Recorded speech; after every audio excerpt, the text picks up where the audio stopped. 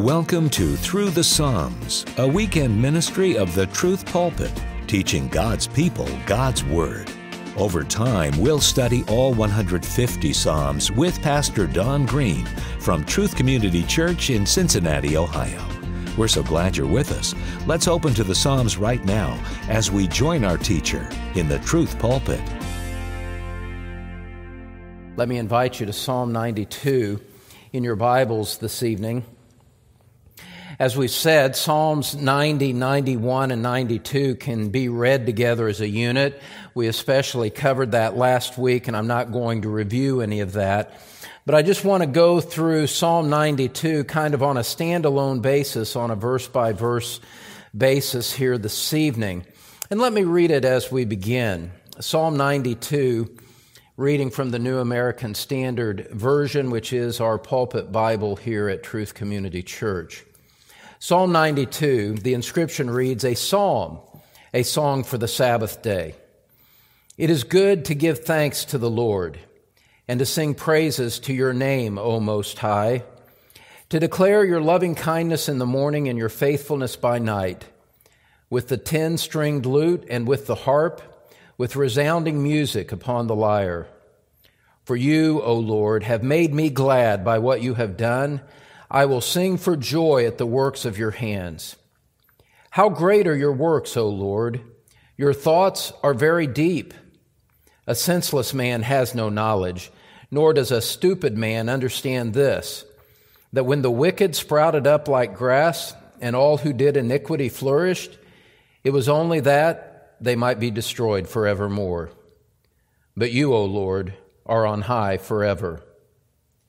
For behold, your enemies, O Lord, for behold, your enemies will perish. All who do iniquity will be scattered. But you have exalted my horn like that of the wild ox.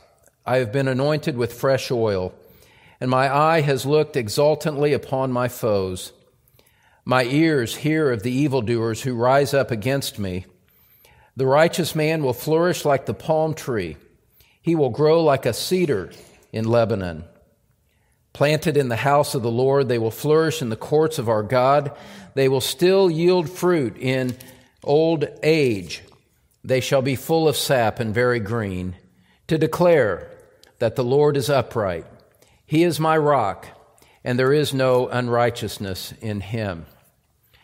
Well, as we come to this psalm and come to its concluding motif, you might say, for Psalms 90 and 91, I just, I do just want to remind you ever so briefly that there has been a flow of thought through these first three Psalms that open book four of the Psalter. Psalm 90 focused on the transitory nature of life. Psalm 91 brought a promise of God to, to inject meaning and protection into that temporary life that his disciples lead. And Psalm 92 is a response of praise to that. And you can see that especially in the closing, the closing sections of each psalm. In Psalm 90, look at verse 14 with me. It, it ends in a prayer that says, Oh, satisfy us in the morning with your loving kindness, that we may sing for joy and be glad all our days. Make us glad according to the days that you have afflicted us and the years that we have seen evil. Let your work appear to your servants and your majesty to their children. Let the favor of the Lord our God be upon us and confirm for us the work of our hands. Yes, confirm the work of our hands. Now, what I want you to see is that Psalm 90 ends on a prayer. This is the psalmist praying to God, asking for his blessing. Psalm 91, by contrast, ends with the voice of the Lord in the first person speaking to the one who has faith. And at the end of verse 14, this Psalm 91 sort of functions as an answer to the prayer of Psalm 90. In Psalm 91, verse 14, it says, Because he has loved me, therefore I will deliver him. I will set him securely on high because he has known my name. He will call upon me and I will answer him. I will be with him in trouble. I will rescue him and honor him. With a long life I will satisfy him and let him see my salvation. Now, if you think about these two Psalms taken together, there's an element of, of quiet I don't want to say desperation, but there is an, an earnest response to the brevity of life and the potential vanity of life in Psalm 90. And the psalmist is praying that God would help him overcome that, to see through it, and that God would bless his life so that his brief years on earth would not be wasted. Psalm 91 comes with God's answer and says, I will bless the one who, who trusts me. I will be his shelter. I will be his protection, and, and I will deliver him. And this deliverance is more than just from earthly problems, and it can't be an ultimate, final, permanent, no exceptions policy of deliverance from physical death because we all die and we're appointed to die, Scripture says. And so God here is promising to, to bring meaning to life and, and in the full context of everything to bring a deliverance from death. Now, ultimately, these Psalms have to point our attention ahead to the Lord Jesus Christ, don't they? They have to point us ahead because only Christ has done what is necessary to deliver us from death, to deliver us from the vanity of life, and to, to bring meaning and to bring ultimate deliverance from this passing life that ends in the grave. And so we can look at these Psalms and read them with, informed with a New Testament perspective that says Christ was the ultimate fulfillment of God's promise that is expressed in Psalm 91. What is, I would ask you, what is the, the greatest danger that ultimately you face? Is it not what we just sang about, about passing through death onto the other side of whatever lies beyond the grave? Is it not the greatest threat? Is it not not knowing what happens to us when we die? Is it not our greatest need to be delivered in that dire moment? To be delivered decisively from the clutches of Satan and from the judgment of God? And that is what Christ has done. He has loved us and He delivers us at that most crucial moment.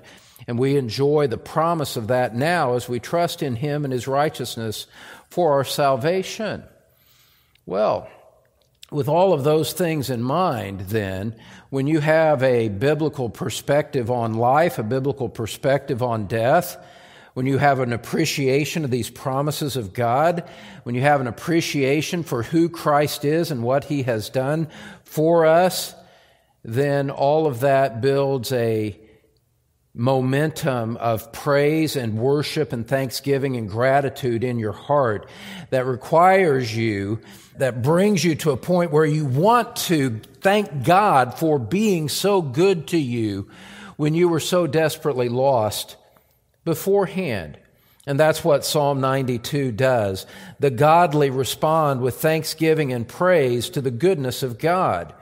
Now, Psalm 92 tells us that it was especially aimed, the inscription tells us, that it was especially aimed for Sabbath worship in Old Testament times. Look at that inscription there at the beginning that says, a psalm, a song for the Sabbath day.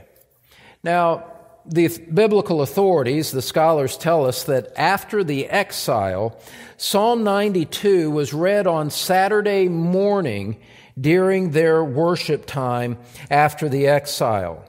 One commentator says this It was sung in the morning when, on the offering of the first lamb, the wine was poured out as a drink offering unto the Lord. And so this psalm was read in the, as they entered into worship, as they entered into the first motions of worship. This was setting their mind toward worship and giving them a proper framework to think about worship as the temple service proceeded.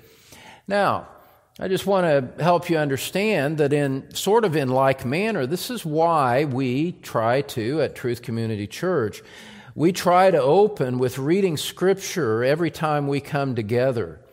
We realize that we come in and life has scattered our thoughts, and we need to be able to come and to focus and to, to let the Word of God call us out of our worldly endeavors and our worldly troubles and our worldly preoccupations to call us out of that and to reorient our mind to the praise and the worship of God.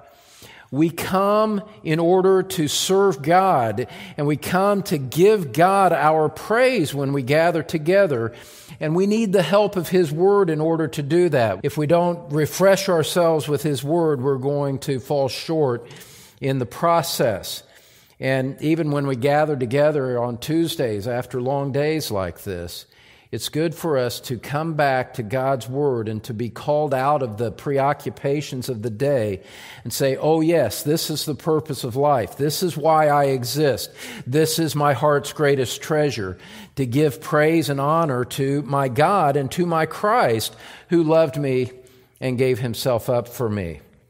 Now, with those things in mind, what you find are, are three different kinds of praise that are expressed as you work your way through this psalm. Three different kinds of praise, three different aspects of praise, you might say. And the first one is the praise of music. The praise of music. The psalmist opens and states his theme in the opening verses. Look at verse 1 with me. He says, It is good to give thanks to the Lord and to sing praises to your name, O Most High, to declare your loving kindness in the morning and your faithfulness by night. How? Verse 3 with the ten stringed lute and with the harp, with resounding music upon the lyre. For you, O Lord, have made me glad by what you have done. I will sing for joy at the works of your hands. So he opens with this music musically dominated, this musically dominated approach to worship. And let me just point something out to you in this section. You'll see the name of the Lord in all caps there in verse 1, the proper name for God, Yahweh, the covenant keeping, promise keeping God. There in verse 1, it opens with the Lord, and it and, and it, in verse 4, you see it at the end of this section as well. For you, O Lord, have made me glad by what you have done. As I say so often, when you see a bracketing structure like that, a poetic bracketing structure, it is telling you what the theme of that section is. This section begins and ends with the name of the Lord, and it's simply a literary way, a literary device to show that He is the focus of attention as this psalm opens up. He is at the center of the psalmist's thought and the psalmist's praise as he opens up this psalm. And so you have God exalted right from the beginning. You have God elevated. You have God being praised right at the beginning of this psalm. And so your attention is drawn with laser focus to the name of the Lord. And now, with that established, what happens is, is that there is this response that is given to him the response that is given to him. And the psalmist says, It is good to do something. It is good to do three things, he says here in this section. Notice it with the infinitives there. It is good, number one, to give thanks to the Lord. Secondly, it is good to sing praises to your name, O Most High. And thirdly, to declare your loving kindness in the morning and your faithfulness by night. Three verbal phrases there that show us the proper way to respond in worship to this Lord God. One, worship involves giving Him thanks, expressing gratitude to Him. Worship involves, secondly, singing, singing praises to His name, and there's that musical focus. And thirdly, there is this verbal declaration of the faithful, loyal love of God by morning and by night. In other words, this day long celebration of worship and thanksgiving for the God of whom he speaks. Now, what this is, what this is telling us is, is this. It is good to do these things, and it's good in this sense. What do you mean that it's good to do this? Well, first of all, it is good because it is fitting. It is right. It is the proper thing to do in response to God's revelation of Himself for us as Christians in response to our Lord Jesus, who lived and died and rose again to redeem us at the cost of his own lifeblood. Beloved, isn't it true that, that, that it's only right, it's only proper, it is fitting for us to respond with this kind of praise and gratitude to God in, re, in response to all that He has done? You see, Scripture calls us to give an external response to the nature and the works of God. And so when we come together to worship week by week, when we come together as a congregation to give corporate praise, beloved, we can say on the authority of God's word that we are doing something good. We are doing something right. This is what the people of God should do. They should come together and congregate and consciously express their gratitude to Him for all that He has done to sing praises to Him, to sing praises to His name, which is an expression of the fullness of His character, the fullness of His attributes, to sing praise to that great God, and to declare in the exposition of His Word His loving kindness and His faithfulness to His people. And so every time we come together, beloved, we can have a sense of confidence and assurance that what we are doing is good and acceptable and proper in the sight of God. This is what He wants His people to do. And this is how we worship. We express our worship in thanks, we sing praises, and we declare the glory of God in the exposition of His Word. That's good. It's right. It's proper. That's what we should do. But it's good in another way as well. It's good in the sense that, that God values it. God assigns worth to this. This is what God wants from us. And so God considers it to be a good thing. It's the right thing for us to do.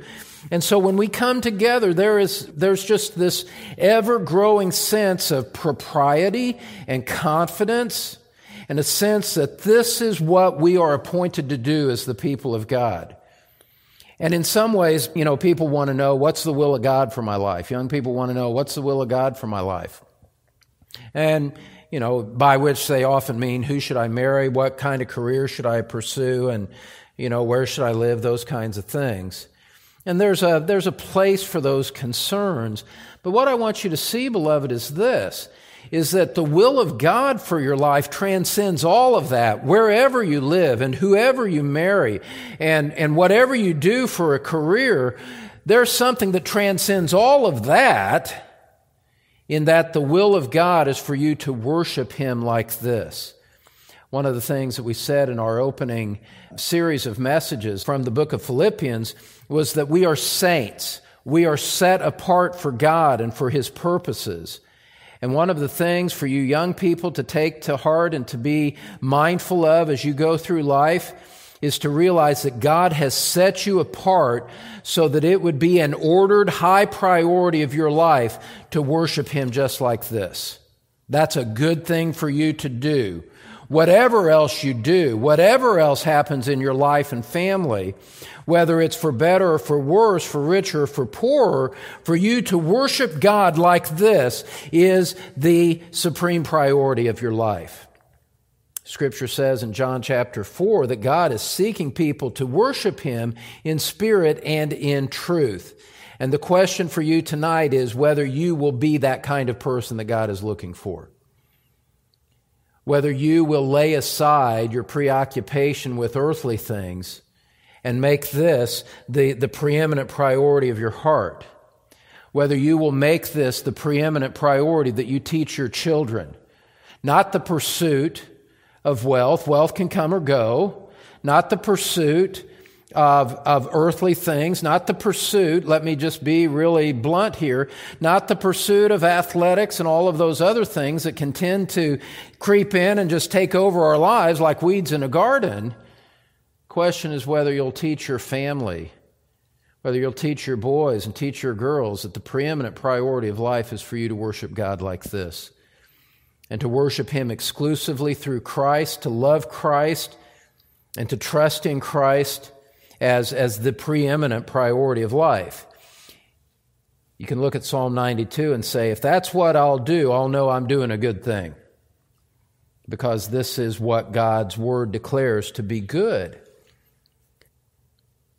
You know, the goal of praise, this would be shocking to some, it won't be shocking to you.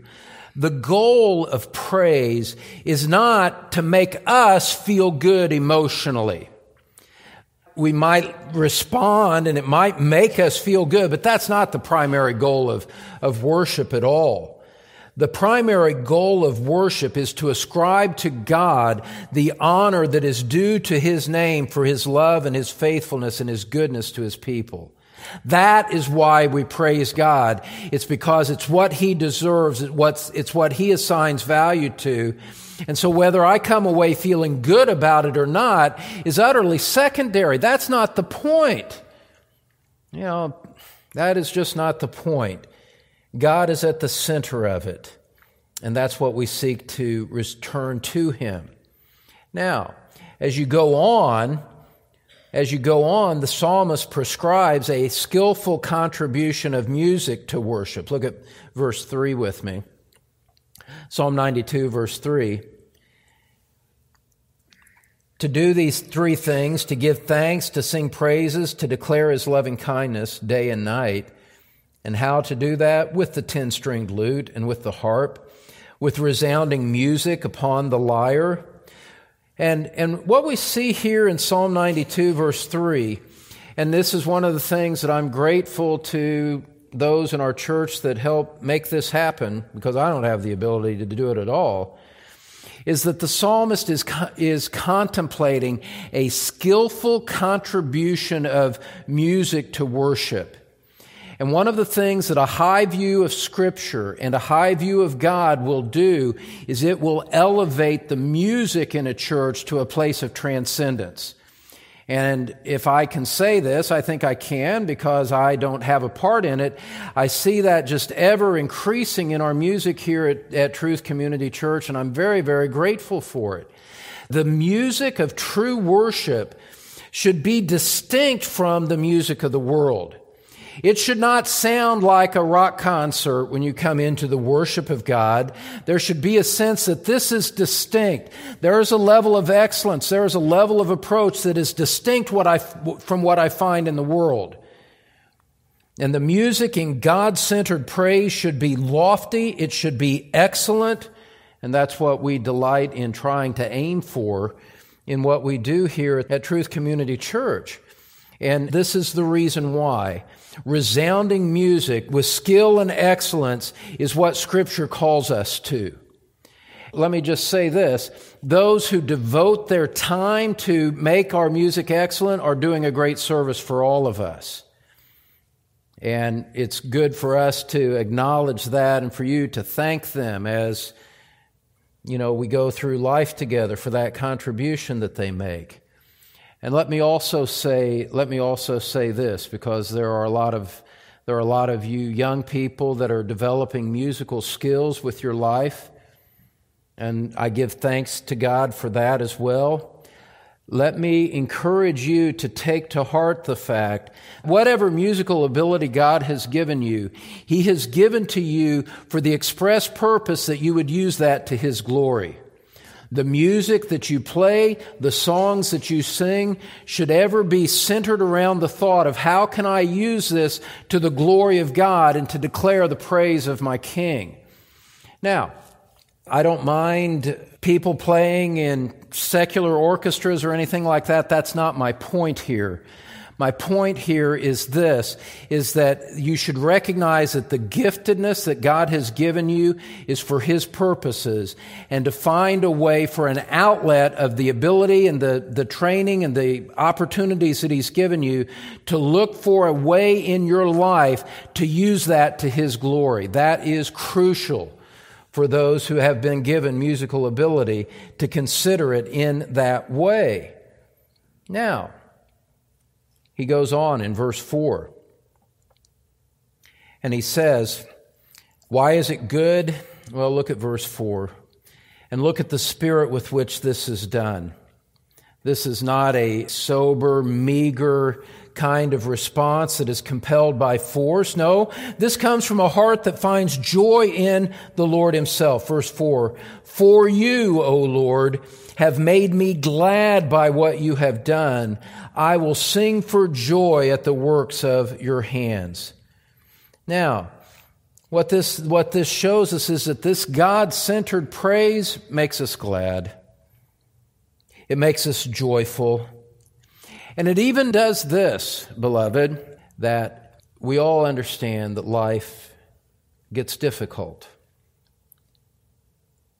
What we see in this psalm is that even when life is difficult, we bring together, we gather our heart together and put the effort into excellent worship that gives thanks to God, that sings praises to Him, and that declares His, His loving kindness by day and by night. And that, that when we come together, we, we are putting our best effort forward when we gather together for worship. We're putting our best effort forward not, not in just mumbling the songs as they're, as they're said, but we realize that there is something lofty that we each have a part to play, and we enter into it and say, I am going to give this my best effort here. I'm going to give the Lord the best fruit of my heart in as I respond and, and I'll, I'll, I'll leave behind the difficulties. I'll leave behind my sadness to orient my thoughts vertically toward God and to give Him the praise that He's deserving of. Now, why is it? Why is it that we, that we, in a sense, we neglect ourselves to do that? Why is that appropriate? Why do we leave ourselves behind when we enter into the court of the Lord's praise? We'll look at it again with me in verse 4. Why all of this effort for praise and with excellent music and so forth? Well, God, you've made me glad by what you've done. I'll sing for joy at the works of your hands. As it were, to look in the face of Christ by faith to look in his face by faith, to look at his hands by faith and see the wounds of the hands that bore the nails that your sins might be borne at the cross of Calvary. And to realize the eternal love that was expressed at the cross when he died for your salvation, when he, when he came out of the grave with power and ascended to high and is now your elder brother interceding for you in heaven. Oh, beloved, don't you see that this makes the Christian heart rejoice, that this brings us gladness, no matter what the challenge may be, and that when this is why we, we set aside our preoccupation with the world in order to come and say, once again, Christ, you are the preeminent affection of my heart. You are the preeminent priority of my heart. In you I find perfection. In you I find the culmination of all of my affections and desires. You are all that I, that I love. And I'm going to praise you for that, no matter what else is happening in life. And so he praises God. Look at it there with me at verse 4 at the end there. I'll sing for joy at the works of your hands. He praises God for what He has done in time and space, and for us, our praise rises even higher as we contemplate the coming, the sacrifice, the resurrection, the ascension of Christ and His imminent return. These are why we offer God our praise, and music helps us to express that, for which we're very grateful. And so that's the first aspect of praise that you see in Psalm 92 this right and fitting response of the praise of music toward our Lord. Now, he shifts gears rather dramatically as we move into the second section of the psalm because he gives us what, I, what you might call a, a praise of contrast. A praise of contrast. And in this section, the psalmist is exclaiming the glory of God and, and his great works and his great mind. Look at verse 5 with me now, as we look at this praise of contrast. He says in verse 5, How great are your works, O Lord! Your thoughts are very deep. He contemplates the works of creation. He contemplates his work for his people, the works of redemption. He redeemed his people from Egypt. Now we celebrate our redemption from sin. And what kind of mind is capable of speaking creation into existence from nothing? What kind of mind is able to do that? Who has the power to create out of nothing, ex nihilo? Who, who has the power to do that? Well, our God does. And so his works are, are, are transcendent. They are great works that no human could do. And it's not just that he has the power to do this, he had the mind to conceive what the plan would look like. He had the mind to establish the order that we see in the heavens about us. And when you contemplate those things at any depth at all, you realize that the mind of God is beyond human comprehension. His mind is great. His works are great. And it humbles us to realize that we're in the presence of one who is so transcendently greater than we are. We have none of that capability in our own. And the contrast of the greatness of God's work and the greatness of his mind draws us to worship, draws us to praise him. Lord, look at all that you've done. Look at who you are. It compels me to worship you. And then, by contrast, here's the contrast very sharp, direct, blunt, immediate contrast here in verse 6. A senseless man has no knowledge, nor does a stupid man understand this that when the wicked sprouted up like grass, and all who did iniquity flourished, it was only that they might be destroyed forevermore.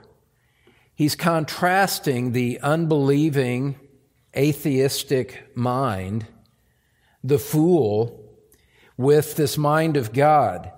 And this mortal man is foolish. He's like a brute beast who misinterprets the world around him and has no clue to the reality of life. In our day, we could look at Hollywood. We could look at the media. We could look at the professing church and how they love to look upon men and women of charm who seem to have it made and all is directed toward appearance and the like. Here in Psalm 92, however, the psalmist is praising God because he has seen through all of it. He is not attracted to the superficial appeal of the world. He's not attracted to the boastful pride of life or the lust of the eyes or the lust of the flesh. He's seen through it all. What he's saying here is, Lord, that mindset, that approach to life only ends in judgment and in destruction. Those who live apart from you, who rebel against you, are senseless, stupid men who don't understand the brevity of life and the fact that judgment is coming. They give themselves over to the most utterly superficial and transient matters of life, he says. Look at it in verse 7. Not recognizing that all of that passes like the grass of the field and ends up in destruction. Look at verse 7 with me. They don't understand, he says, that when the wicked sprout up like grass and all who did iniquity flourished, it was only that they might be destroyed forevermore. What he's doing here, remembering this is a psalm of praise to God. He is praising God now by contrasting the eternal mind of God with the mind of the fool, which is preoccupied with transient things. Said, God, you are great and planned out creation. God, the fool, is enamored with the things of this day. God, how great you are by contrast with the stupid, foolish men around me. And what, what he's doing here is in praise, he is stepping, watch this, he is stepping outside the mindset of the world in which he lives. He is separating, he is rejecting the world, rejecting the mindset of the world, and saying, God, I am praising you in contrast to what the world is like. I recognize you're in a completely different realm, and I honor you for that. I reject the environment like a fish rejecting the water in which he swims. I reject that, Lord, and I honor you and I extol you. And you see this in verse 8 when he says, and gives the contrast, but you, O Lord, are on high forever. A couple of things about that verse. Notice how brief it is. Notice how brief it is eight words in our English translation compared to the lengthy verses that preceded it. And there's, there's, a, there's a sort of a, there's a sort of a quick punch that with the brevity, it just delivers a punch that stuns you, that, that, that, that arrests your attention. After developing the thoughts of the senseless man, the wicked man and, and expanding on that, he says, But by contrast, O Lord, you're on high forever. The man in vanity perishes, but God is sovereign forever. He is the supreme judge. One writer says this. He says, This is the great pillar of the universe and of our faith in the midst of whatever is happening in life, you can come back to this verse and find something that will quickly reorient you. But you, O Lord, are on high forever. God, as the wicked man flourishes, you're on high supreme over him. As the wicked man perishes, you're on high and supreme over him. And that great contrast informs our praise. This helps us understand why we praise God like we do. And it is this, and it is so necessary for us to remember because we tend to walk by sight and not by faith. What's this great contrast do for us? It informs our praise. It tells us that God will triumph over everything sinful that we see around us. Every time that the wicked man flourishes, we come back and remember that the Lord is on high forever.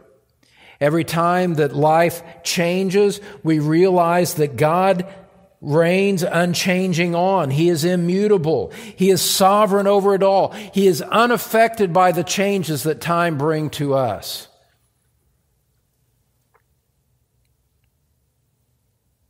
Look at verse 9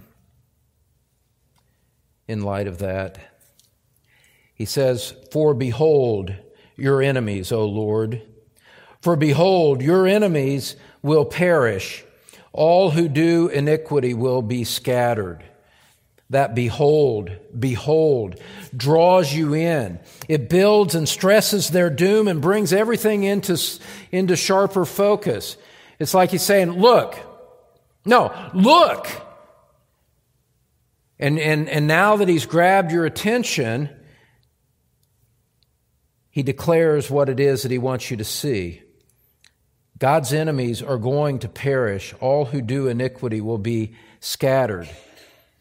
The majesty of God, the greatness of God does a couple of things, does a lot of things. But God's majesty, His supremacy, his sovereignty guarantees, beloved, the end of his enemies. All of the enemies that rise up against God's people, the philosophies that rise up against the truth, those who have martyred faithful Christians, those who have, who have opposed and persecuted and mocked and lied against the people of God, who have lied against Christ, who have mocked his name, those who do that in an unrepentant sense are, are, are guaranteed their doom is sure. And not only that, when we look beyond the human manifestation of these things and look at the invisible satanic demonic realm which, which fuels all of that as we, as we fight battles in the heavenlies, this tells us and guarantees for us that the doom of Satan and the doom of all of his demons is certain. It could be no other way. Satan rails against Christ, rails against his people in vain because the Lord is on high forever. In both the visible and the invisible realm, God's enemies are doomed. God's thoughts are very deep. By contrast, men are senseless. And so, what does this praise do? What does true praise do? Well, one, it, it leads us into this praise that offers God our thanksgiving and our, our declarations in music and in worship. And what you see here in this second section is this is that praise leads us away from the world to the glory of God. It leads us away from a preoccupation with the world. It lets us see through the prosperity of the wicked to see the ultimate end of these things so that our mind and our affections are not drawn away from praise, but are reinforced in praise all the more. And so let me ask you, let me ask you a question then. Do you see through the world? Do you agree with this assessment of Scripture that all of the vanity that the world embraces is foolishness before God and is of no ultimate value? Have you seen through it enough to reject it? Or do you still love and find yourself attracted to it? Approaching the question from a different way. Have you seen the surpassing value of Christ and given yourself to Him? Do you see that Christ, Christ is more valuable than anything in the world? He is the pearl of great price, which is worth selling all that you have and giving all of yourself over that you might own Christ, even if you lose everything else in the process. Do you know Christ like that as the exclusive, valuable object of your affections? That's where this leads us, is to a praise that is given in the giving of ourselves. Well, there's a third and final aspect of praise that we see in this psalm, and it's the praise of testimony. The praise of testimony here in the final section of the psalm.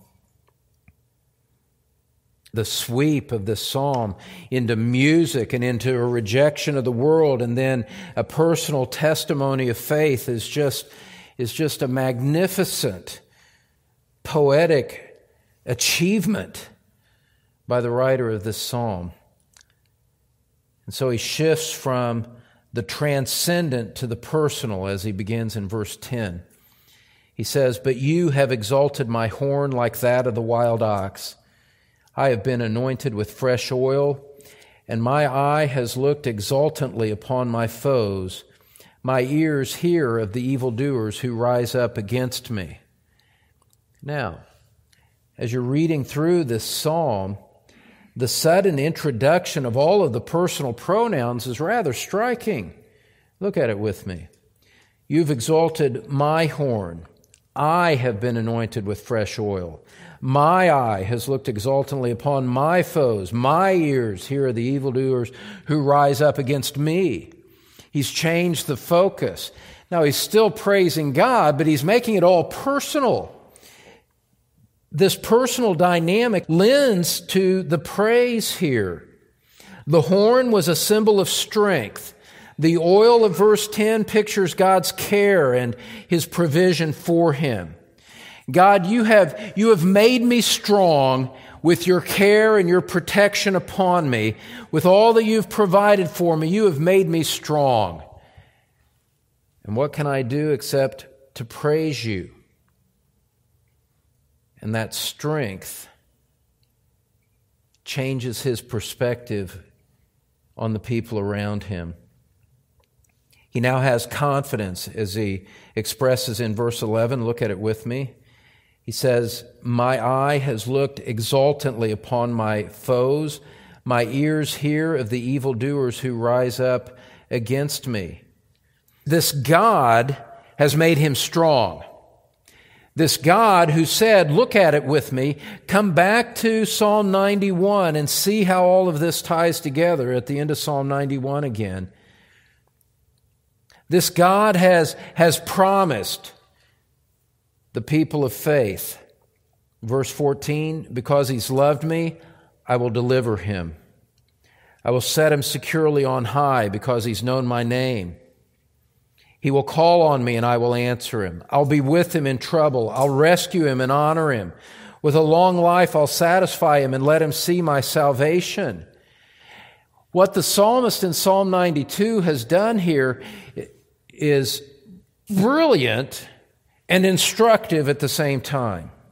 And he's done that which is available for you to do in all of the simplicity and even obscurity of your own life compared to, you know, what the world loves. What the psalmist has done, what this psalm calls you to do, is to take God at his word. When God says that for the one who has loved him, for the one in our day who has put his faith in Christ, there is this promise of God's ultimate deliverance. There is this promise of security. Look at verse 14 of Psalm 91 with me. This promise of security. This promise of answer in verse 15. This promise of his presence in trouble. This promise of rescue and even honor and satisfaction and ultimately beholding his salvation. What the psalmist has done here in Psalm 92 is he has simply taken God at his word and said, I believe you and I trust you to keep your word to me personally in that. And therefore I can look at my foes and as it were, I can laugh at them. I am not intimidated any longer. I live with courage. I live with confidence because I know my God and I know my God is good and I know my God is faithful. I know my God cannot lie. And God has said, He'll do this for me. And therefore, I'm at rest. I am at secure. I am strong. I am no longer afraid. That kind of faith is designed to strengthen you against every obstacle that you face in life. Are there people who design your harm? Are there people who would try to mislead you? Are there threats to your economic security? Are there those who hate you without cause? Are there those who lie against you and create difficulty for you? What Psalm 92 is teaching us here is to draw upon these promises of God and to see through it all. Say, yes, the, the temporary consequences of this may be difficult, painful, and cry out for justice that is temporarily denied. But, beloved, where we are to go as believers in Christ is we are to go beyond that and say, I view all of this not through the lens of my human oppressor or through the human circumstances. I view this through the God who has saved me, who has brought me to himself, and who has said, I will be this kind of God to you. This is the kind of God I am to you. I will deliver you. I will secure you. I will keep you. I will be with you in your trouble. I will rescue you and I will uh, ultimately honor you. And one day you'll see my salvation. That is designed to bring you to a point where you can say with the psalmist in Psalm 92, verse 10, look at it again with me God, you've exalted my horn.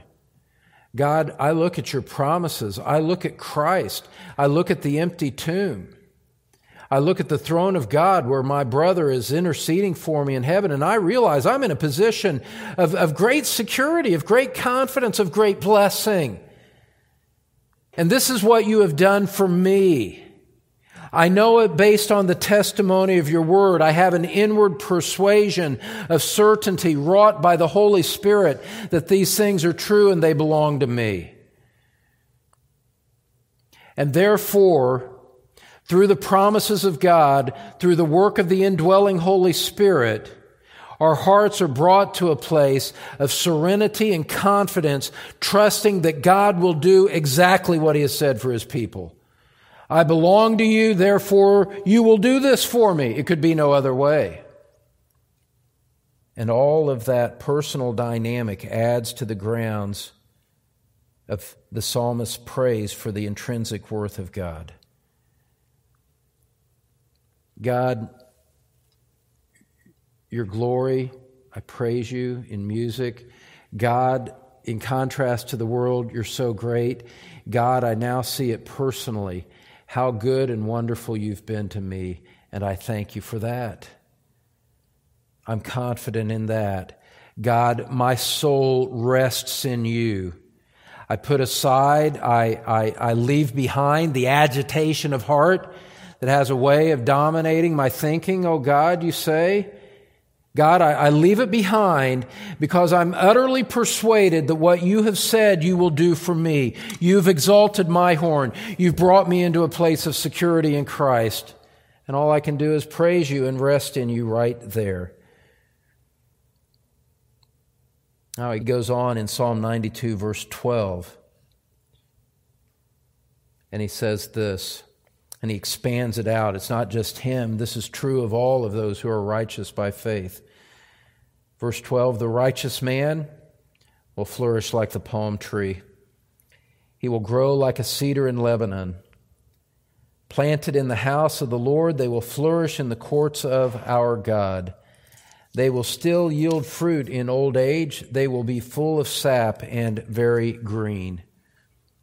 As I said last time, the palm trees and cedars are stately trees in that region. The palms can, can live for 200 years, the cedars for thousands of years. Years ago on business, I was in Lebanon and I saw some of the cedar trees in Lebanon. It's stunning the size and the magnitude of these trees. And this picture of a flourishing, strong, steady tree is in contrast to the passing grass of the wicked. And so the picture of the trees are designed to instill in you a picture of permanence and of strength. Full of sap, very green, full of all of their vitality even after the passing of much time.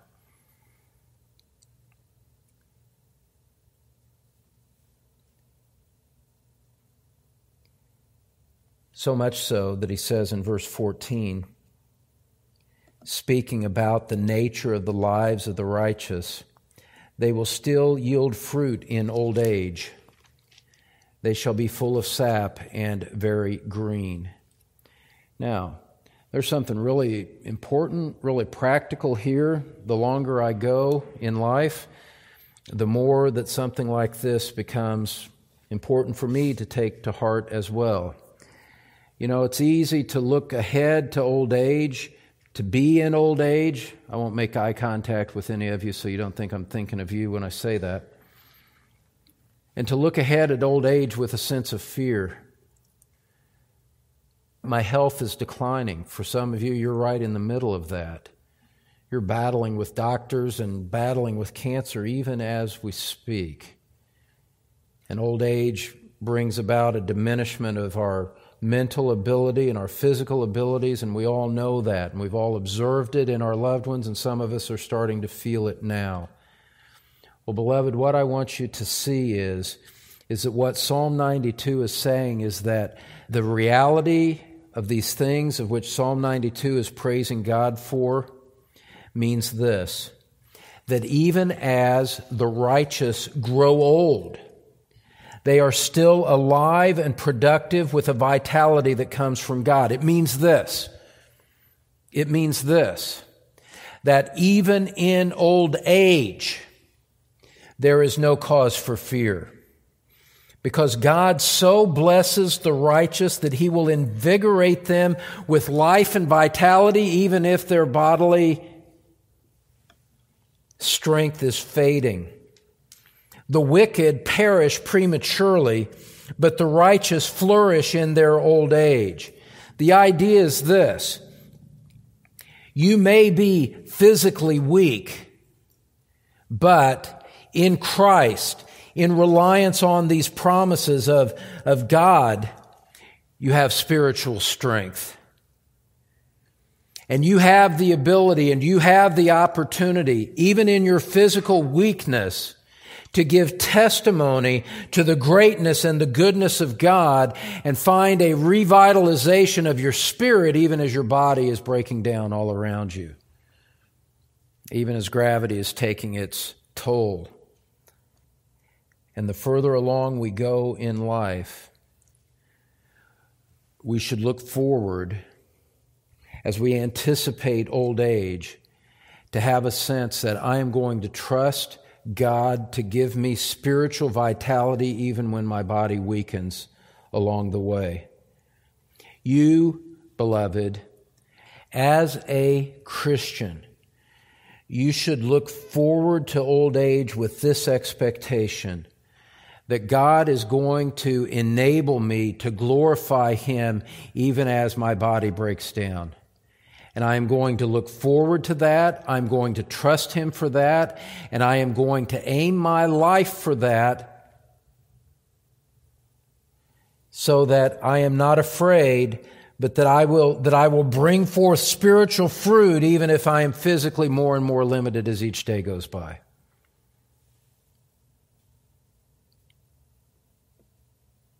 In the end, the aged righteous add to the praise of God. Look at verse 15 with me.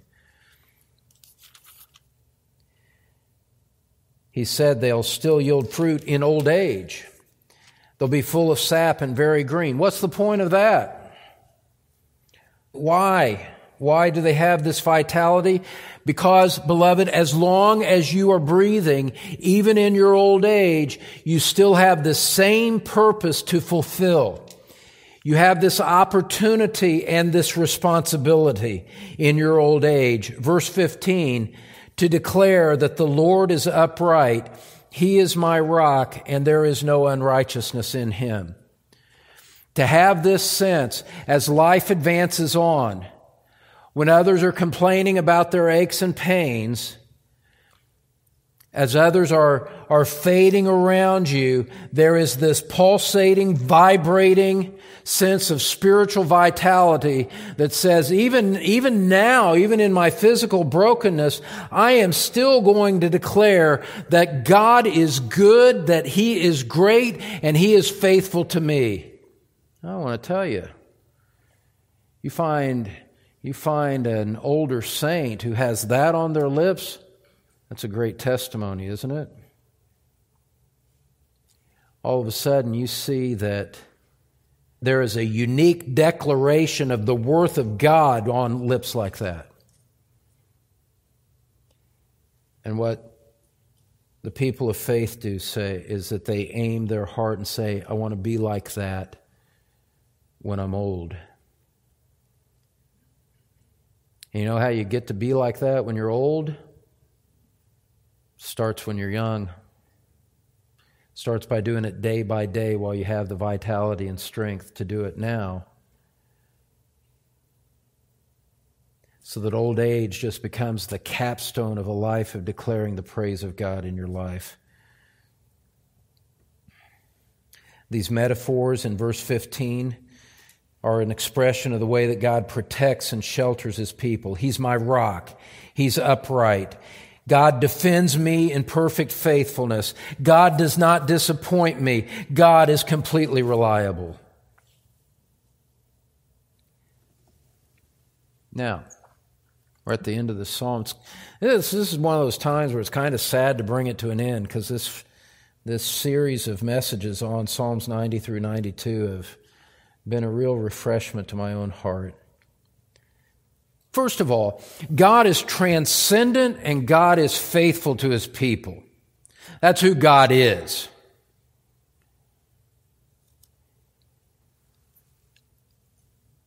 What do we do with that?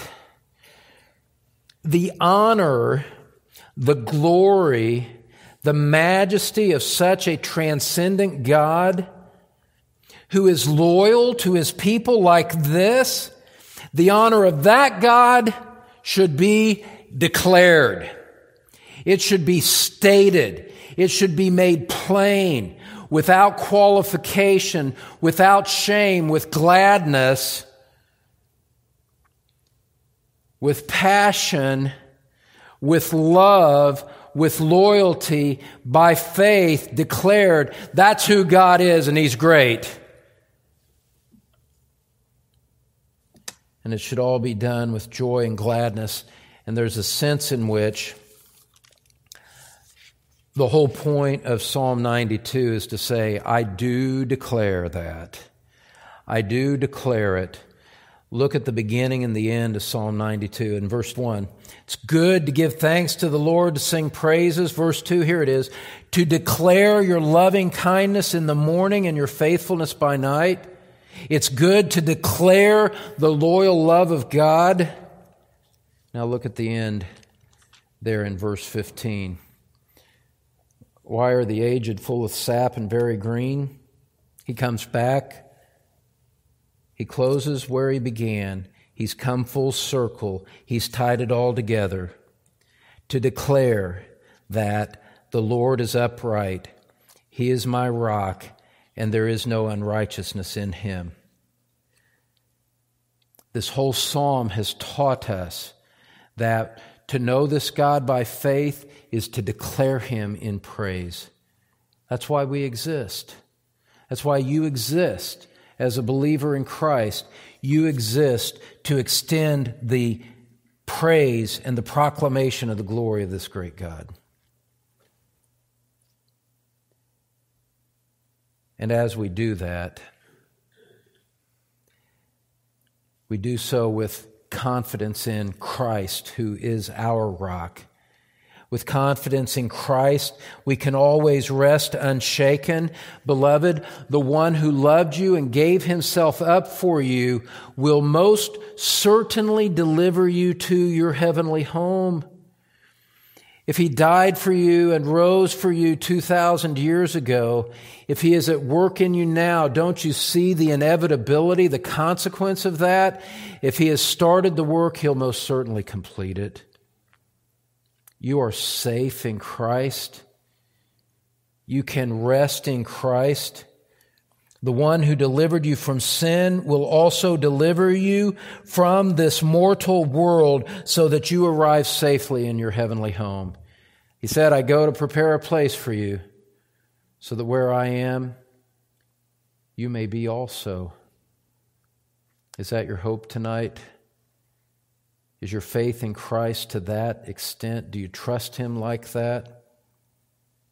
Well, so, then what can we do except declare his praise. Let's pray together. Father, we close by doing that which you have declared to be good. We give you our thanks. We thank you for your creation. We thank you for your rule over history. We thank you for our redemption in Christ. We thank you for the indwelling Holy Spirit. We thank you for our eternal home that is secure for us in heaven, reserved for us, our name on the plate at the banquet table, waiting to be fulfilled. We thank you for that, Father. We praise you. We ascribe honor to your name, O Most High, in the fullness of your attributes. We honor who you are transcendent God and yet full of loving kindness toward your people. And Father, we declare your loving kindness. You are a God of loyal love. It was loyal love that Christ manifested as he went to the cross for his elect. It's loyal love that keeps us. It's loyal love that will lead us safe on Canaan's shore. Oh God, how you have blessed us, how we declare your praise. Help us all as we advance in life. Help those especially who are dealing with the infirmities of old age, Father, to yield this fruit of praise, to declare that you are upright, that you are our rock, and there is no unrighteousness in you. We honor you, our God, and it is a joy to do so. You have made us glad by what you have done, and we offer you our praise as we close this evening. In Jesus' name, amen. Well, friend, thank you for joining us on Through the Psalms. Did you know that we also offer a daily podcast? It's a shorter format that is a perfect companion for you as you start your day, drive to work, or maybe have your workout on your treadmill. You can find that daily podcast at thetruthpulpit.com. Look for the link that says Radio Podcast.